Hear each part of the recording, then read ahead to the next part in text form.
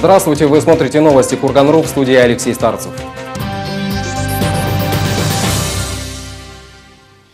Погода на новогодних каникулах стала настоящим испытанием для дорожных служб Кургана. Чуть больше, чем за неделю в городе и области выпала двойная норма осадков. Как сообщают в администрации города, сгребание и подметание снега производилось в Заозерном, в микрорайонах Рябкова, Глинки, Керамзитный, Утяг, Северный и в центральной части Кургана. Сегодня основное внимание будет уделено уборке дорог, пешеходных зон и тротуаров. Вывести весь снег с улиц города планируется в течение двух рабочих дней. После внимания уделят посыпке дорог и территорий песком у остановочных комплексов.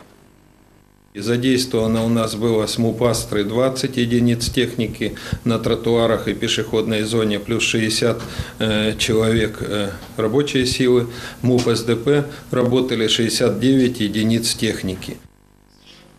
Более 20 килограммов наркотиков сгорели в печи. Курганские чекисты по решению суда уничтожили вещественные доказательства по уголовным делам. Накануне Нового года синтетические наркотики сожгли в одной из котельных Китовского района. Самая крупная партия из уничтоженного – 20 килограмм синтетического наркотического вещества альфа-пиролидина валерофенон. Данный наркотик в декабре 2015 года был изъят у курьера-оптовика, перевозившего партию синтетики из московского региона в Новосибирск. В ходе осмотра машины наркокурьера, кроме 10 пакетов с наркотиками, скрытыми в нишах багажного отделения и в чемодане среди личных вещей задержанного, были изъяты два ноутбука, 4 сотовых телефона, несколько USB-модемов и сим-карт, используемых им для связи с сообщниками. Ксерокопии паспортов граждан, на чьи документы оформлялись сим-карты, а также электронные весы, медицинские перчатки, пакеты и садовый инвентарь в виде лопаток, совков, грабель. Эти предметы были нужны злоумышленнику для расфасовки наркотиков и устройства тайников-закладок. Суд квалифицировал действия фигуранта дела как покушение на незаконный сбыт наркотических средств группой лиц по предварительному сговору в особо крупном размере и назначил наказание в виде 7 лет лишения свободы в исправительной колонии строгого режима. При этом суд учел активное содействие следствию в раскрытии и расследовании преступления и добровольную выдачу материальных ценностей, добытых преступных путем. Всего у наркокурьера было изъято три легковые иномарки и денежные средства, более 1 миллиона рублей и 800 долларов США. Помимо наркотиков, в топку отправили средства индивидуальной защиты, химические прекурсоры и оборудование химической лаборатории, которую еще один зауралец оборудовал в частном доме. Таким образом, администратор одного из курганских кафе решил организовать свой преступный бизнес. Дарья Менщикова, Михаил Котельников, Александр Киселев, Кирилл Филимонов, информационное агентство «Курган.ру». Более 140 ДТП за 8 дней. Именно столько, по данным городского МВД, произошло в столице Заурале дорожно-транспортных происшествий в новогодние праздники. В результате 13 человек получили травмы. Один ребенок погиб, еще один находится в коме. Всего госавтоинспекторы пресекли более 1600 нарушений ПДД. Основное из них – вождение в пьяном виде.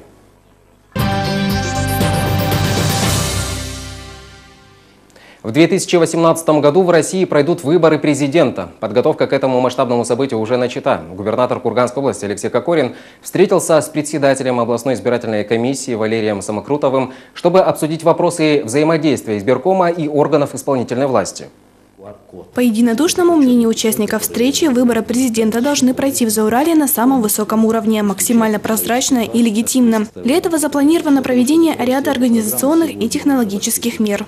На территории Курганской области планируется перевести систему газвыборов а, на цифровые каналы связи. Э, под эту программу попадают 33 субъекта Российской Федерации. Денежные средства предусмотрены федеральным бюджетом. На территории э, Уральского округа это Курганская, Челябинская, Свердловская область. Все остальные субъекты уже переведены на цифровые каналы связи.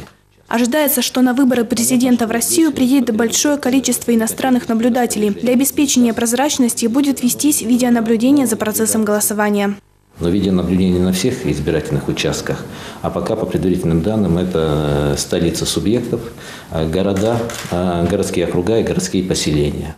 В Заурале под эту программу попадают 253 избирательных участка, где будут голосовать более 55% избирателей Курганской области. По мнению Алексея Кокорина, чтобы ни у кого не возникло сомнений в легитимности выборов президента, они должны пройти при хорошей явке избирателей. Явка зависит от многих факторов. Прежде всего, самое основное, на мой взгляд, это доверие ко всем уровням власти. Если есть доверие, значит люди идут, а если нет, значит они не идут. Поэтому это самое основное. Юлия Пастухова, Николай Волков, Кирилл Филимонов, информационное агентство Курган.ру. Накануне праздников сенатор от Курганской области в Совете Федерации Федерального собрания Российской Федерации Елена Перминова подвела итоги уходящего финансового года. Как исполнился бюджет Курганской области и какие перспективы несет 2017 год федеральному бюджету в эксклюзивном интервью нашему корреспонденту. Бюджет Курганской области, конечно, идет очень напряженно. Если говорить о доходной части бюджета, то она выполняется, налоговые доходы. Не налоговые доходы, естественно, как и в прошлые предыдущие годы, будет не выполнено. То есть не удалось продать то имущество, которое было предусмотрено в плане приватизации. И это, конечно, нам позволит бюджет исполнить с дефицитом. Но то, что мы в течение года работали и над мобилизацией собственных доходов бюджета, работали над оптимизацией расходных полномочий бюджета Курганской области, это дало определенный эффект. Э, тем более мы отрабатывали и с Министерством финансов Российской Федерации по получению дополнительной финансовой помощи. И, насколько я знаю, вот оно было получено сейчас – это порядка 900 миллионов рублей. В последние дни уходящего года получили. Это позволит своевременно выплатить заработную плату, а закрыть те долги, которые накопились по платежам в пенсионный фонд и другие внебюджетные фонды. Ну, то есть это несколько поможет э, снивелировать вот те нехватку э, доходов, которые э, на самом деле существуют и объективно существуют в бюджете Курганской области. Вы знаете, что по приглашению губернатора Курганской области у нас в Курганской области работала комиссия из Министерства финансов Российской Федерации. Они подготовили ряд своих предложений – Э, предложения, конечно, эти очень э, такие существенные и по сокращению расходной части бюджета, и по увеличению доходной части бюджета, но над ними нужно работать. Я уверена, что финансовое управление Курганской области и правительство Курганской области внимательно изучат все эти представленные выводы комиссии, Самое главное, я считаю, что нужно работать над увеличением доходной части бюджета. Потенциал у нашей области есть. У нас создаются новые предприятия. Вот недавно открылось предприятие «Вилфарм». Это дополнительные рабочие места. Пока это 230 рабочих мест. Это дополнительные налоги и поступления в бюджет области все те направления, которые касаются развития сельского хозяйства в Курганской области, они перспективны. И нужно работать дальше в этом направлении. Но и как показывает жизненный опыт и практика у нас в области, создание новых рабочих мест, новых предприятий, это тоже актуально. И это получается, и это нужно приветствовать и дальше в этом направлении работать. Бюджет федеральный также в этом году, он был с спланирован с большим дефицитом в размере 3%. По, в ходе его исполнения дефицит еще увеличивается, но все социальные мероприятия, все те направления, которые касаются выполнения заработных плат, указ, указов президента, а строительства э, школ, это, все, эти все мероприятия они будут выполнены, и они уже выполняются. Кроме того, оказана субъектам дополнительная финансовая поддержка, о чем я говорила, что Курганская область у нас получила а, порядка 900 миллионов рублей. Так что вот бюджет будет исполнен. Источники покрытия дефицита бюджета, федерального бюджета, они есть. Это и резервные фонды правительства, и резервные фонды, которые у нас а, в федеральном бюджете отмечены. Так что бюджет будет по всем направлениям выполнен, но он будет э, дефицитным, но дефицит покроется вот за счет этих источников. Я бы отметила основные характеристики бюджета на 2017 год, такие как э, в бюджете запланировано, отмечено очень низкий уровень инфляции, чего практически правительство Российской Федерации добивалось последние годы – 4%. И очень хотелось бы этот э, уровень инфляции удержать на, на, в этом темпе. А также, но бюджет был спланирован, и мы, и члены Совета Федерации, и депутаты Государственной Думы отмечали, что а, параметры бюджета несколько занижены. В, каком, в какой части? В той части, что сейчас наблюдается повышение цены на нефть она доходит у нас уже до 55 долларов за баррель, а, а бюджет сформирован исходя из 40 долларов. Ну, это может быть и хорошо, поскольку, я, как я говорила, что дефицит бюджета достаточно большой, и источником его покрытия является резервный фонд, но так, такое, такая цена на нефть как раз поможет сократить дефицит бюджета, федерального, федерального бюджета. А также стоит отметить, что и в федеральном бюджете предусмотрены и индексации на, на пенсии, другие социальные расходы проиндексированы, предусмотрена разовая выплата в размере 5000 рублей всем пенсионерам, нашей страны, если в первоначальном проекте бюджета было предусмотрено только выплата работающим и неработающим пенсионерам, за исключением пенсионеров, относящихся к силовым блокам, то сейчас предусмотрена сумма и на, на этих пенсионеров. Зато выровнена бюджетная обеспеченность. Если раньше Курганская область в бюджете 2016 года получала дотацию на выравнивание в размере 8 миллиардов рублей, и мы имели уровень бюджетной обеспеченности 0,6%, а не процента, а от, от единицы 0,6%, то на 2017 год мы, у нас уже уровень бюджетной обеспеченности равен 0,715. То есть вот эти 2,3 миллиарда рублей помогли нам несколько повысить наш уровень бюджетной обеспеченности. На последнем в этом году заседании Зауральского правительства была утверждена территориальная программа государственных гарантий бесплатного оказания гражданам на территории Курганской области медицинской помощи на 2017 и плановый период 2018-2019 годов. Как сообщает пресс-служба губернатора, в 2017 году финансирование программы составит около 12 миллиардов рублей. Из них более 3 миллиардов будет выделено из областного бюджета, еще около 9 миллиардов из Фонда обязательного медицинского страхования.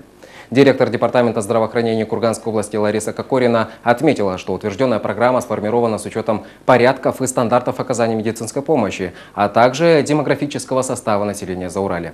Программа содержит перечень видов, форм и условий медицинской помощи, оказания которой осуществляется бесплатно, целевые значения критериев ее доступности и качества.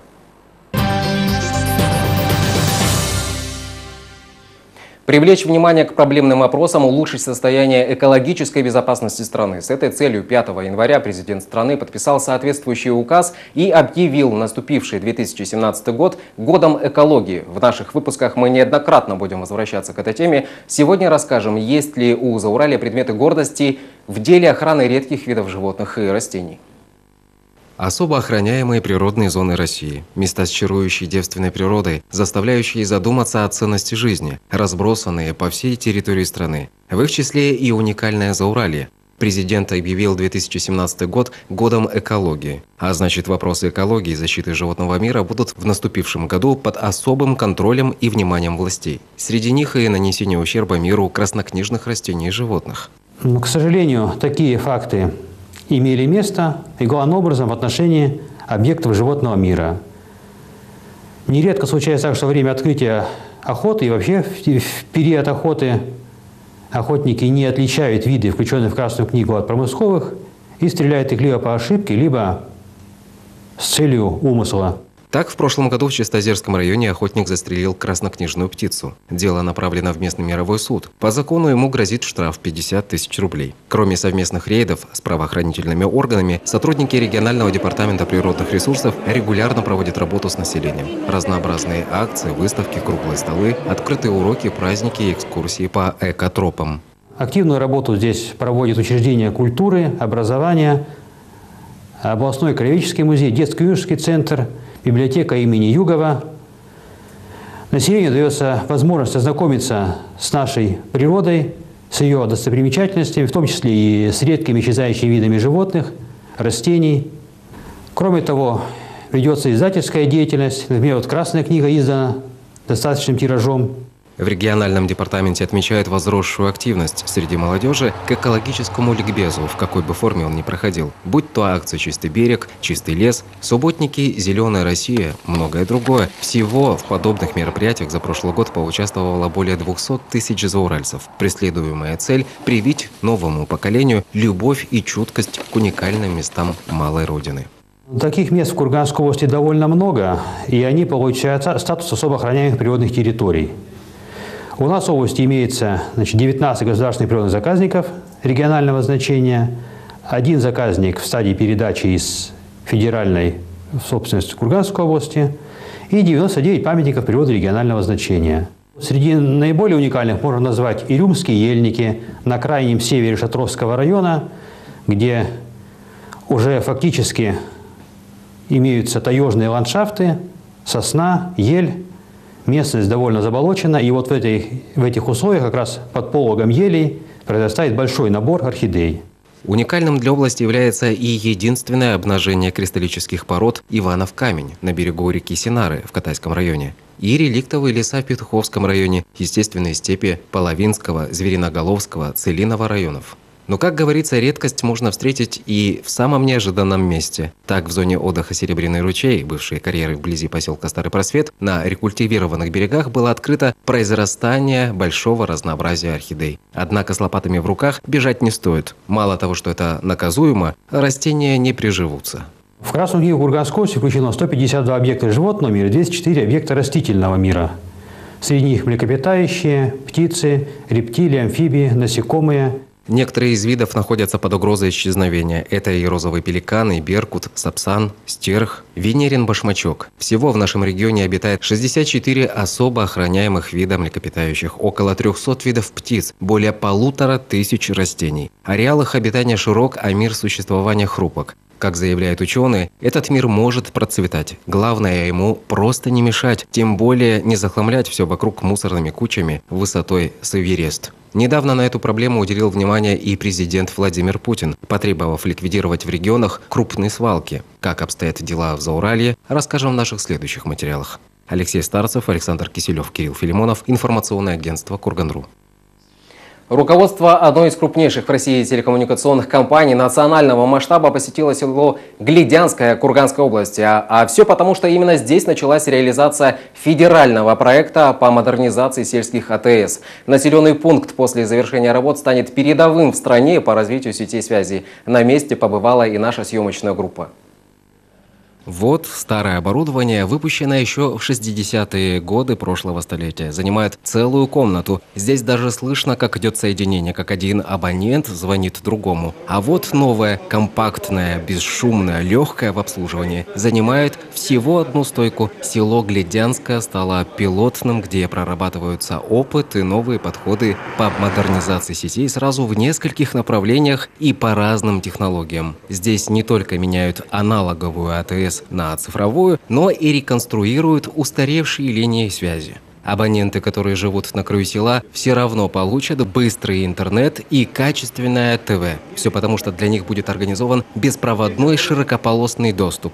Есть уже первые счастливчики, которые современные технологии оценили, как говорится, на себе. Ну, качество, в основном качество, быстрота. Интернет, да, интернет-качество улучшилось. С переходом на новое оборудование сельчанам станут доступны телекоммуникационные услуги качественно нового уровня. Доступ в интернет по технологии GPON на скорости до 100 мегабит в секунду, интерактивное телевидение с возможностью просмотра более 200 каналов, цифровая телефония с большим количеством функций. В прошлом году мы начали проект э, по трансформации сельской связи. Дело в том, что так исторически сложилось, что сельская связь у нас в стране во многом недофинансирована. Вот мы начали этот проект. В этом населенном пункте мы попробовали несколько разных технологий для того, чтобы убедиться в том, э, насколько, во-первых, они работают, насколько для жителей это приемлемо, и можем ли мы вписаться в те ценовые параметры, которые тоже определяют очень многое.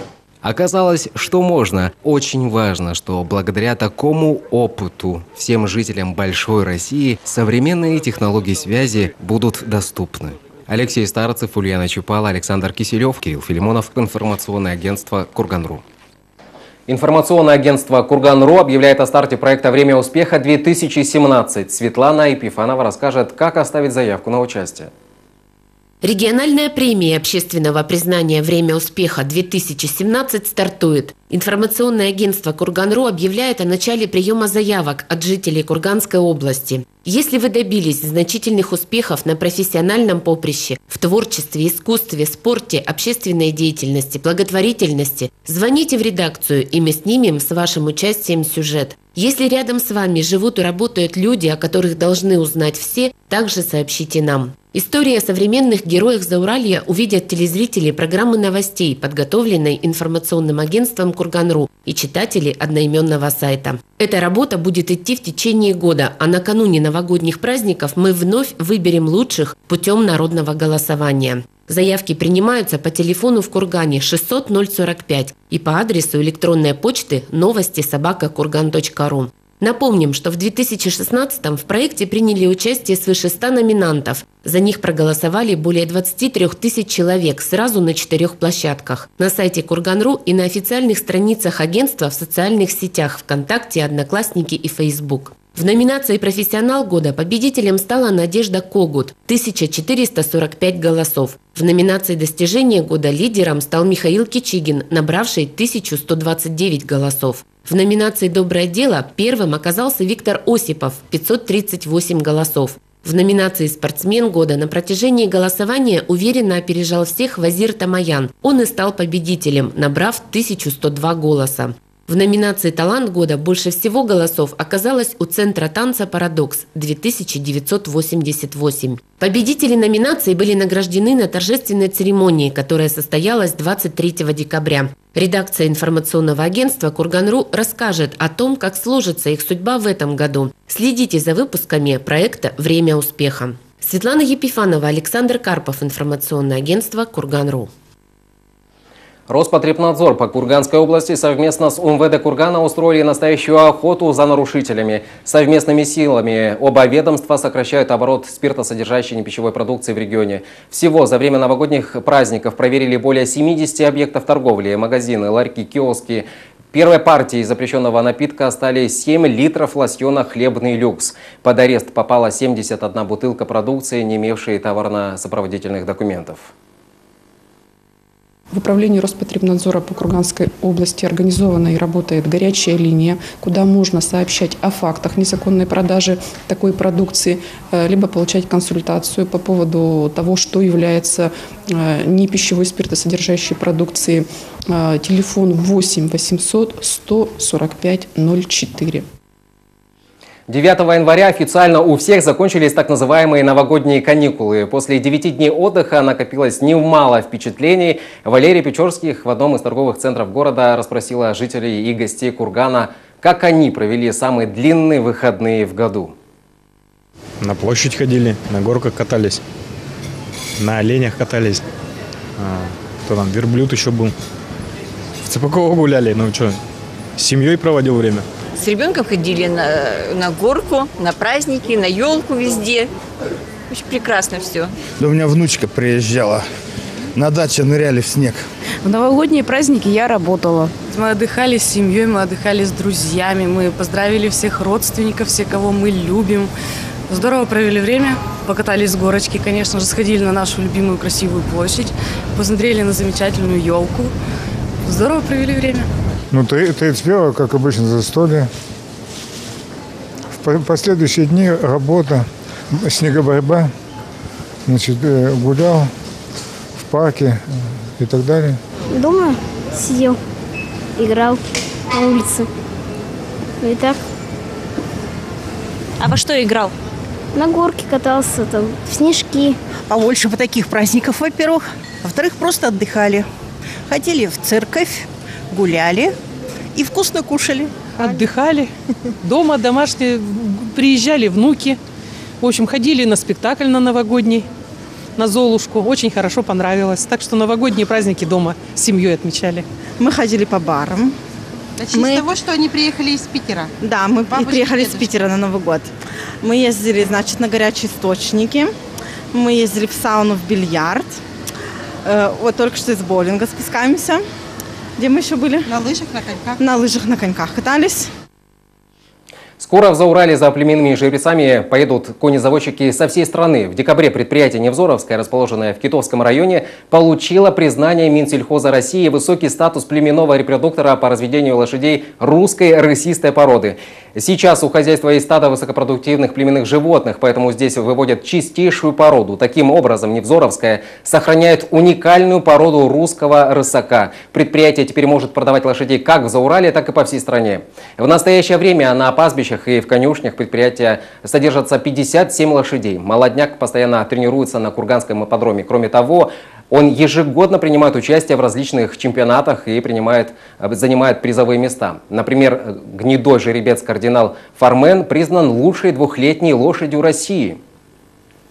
Курганские школьники побывали на выставке креативных шпаргалок в Екатеринбурге. Курганские спортсмены отличились в начале 2017 года. Сибирские морозы дошли до Греции, холод сковал страну от севера до юга. Эти и другие новости ищите на сайте Кургана.ру. Эфир подошел к концу. До новых встреч.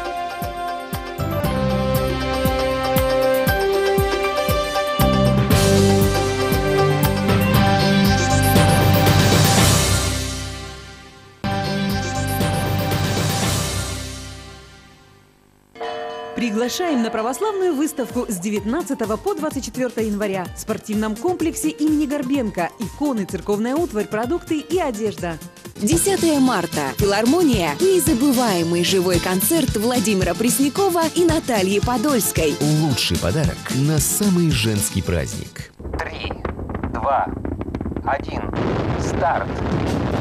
Точки приема рекламы выводят ваш бизнес на новую орбиту. Подайте коммерческую бегущую строку, и о вашей компании узнает весь город. Точки приема рекламы. Вселенная возможностей для вашего бизнеса. 18 марта. Областная филармония. Наш прославленный земляк Евгений Григорьев. Жека. Юбилейный концерт. Интернет-магазин Столплит представляет мебель по традиционно низким ценам. Спальня Кита Дезира темный за 6990 рублей. Столплит. Доступная мебель. Интернет-магазин Е96. Видеорегистраторы от 1090 рублей. Е96. Заказывай и забирай. Получайте удовольствие от продажи недвижимости, а всю работу доверьте профессионалам. Активное рекламное продвижение объектов, быстрая и выгодная продажа. БК «Недвижимость» – единственная риэлторская компания в Кургане, услуги которой сертифицированы. Красина 61, телефон 411 511. Не детская арифметика молодой семьи. Одноразовые подгузники. 990 рублей в месяц. 12 месяцев. На 3 года. Многоразовые подгузники Конопуша. Сократить эти траты в 10 раз. Конопуша. Экономично. Экологично. Спрашивайте в сетях аптек Курган Фармация и глав аптека. Ваш малыш. Его первые шаги Первая улыбка. Сохраните самые трогательные моменты, которые останутся с вами навсегда с фотокнигами типографии «Курьер». Удобный формат, индивидуальный дизайн. Типография «Курьер». Цените моменты. Впервые в нашем телемагазине. Надувной лежак. Идеальное решение для любителей активного отдыха и выездов на природу. Удобный, практичный, эргономичный. Прост в использовании и не требует много места для хранения. Отличный подарок на Новый год. Звоните и заказывайте прямо сейчас. Надувной лежак. Всего за 2499 рублей. Лучший подарок в день 8 марта. Областная филармония. Неподражаемый Игорь Саруханов. Билеты на мой концерт.ру 23 февраля. Областная филармония. Грандиозное симфоническое шоу «Наши рок-хиты». Билеты на мой концерт.ру 5 марта. Филармония. Большая сольная программа короля русского шансона Михаила Шуфутинского. Лучший подарок любимой женщине. Главная распродажа года. Скидки до 70% и плюс до 18% по карте любимого покупателя в магазинах «Чемпион» и «Курган Обувь». Рикер, Баден, Монро, Планета Обуви, Элита, Лизет, Айдини, Франческо Дони, Алица, Шускорт. Здравствуйте! С прогнозом погоды вас знакомит Карманова Жанна. Дорогие курганцы, закончились праздники, но не закончились сюрпризы от сети обувных магазинов «Курган Обувь» и магазинов «Чемпион». Они дарят вам главную распродажу года – скидки до 70%, плюс до 18% по карте любимого покупателя в магазинах «Чемпион» и «Курган Обувь». Монро, Зенден, Калипсо, Витачи, Айдини, Франческо Донни, Баден, Лизет, Рикер, Кедда, Ральф, Эвита, Тамарис, Планета обуви. А теперь о прогнозе синоптиков.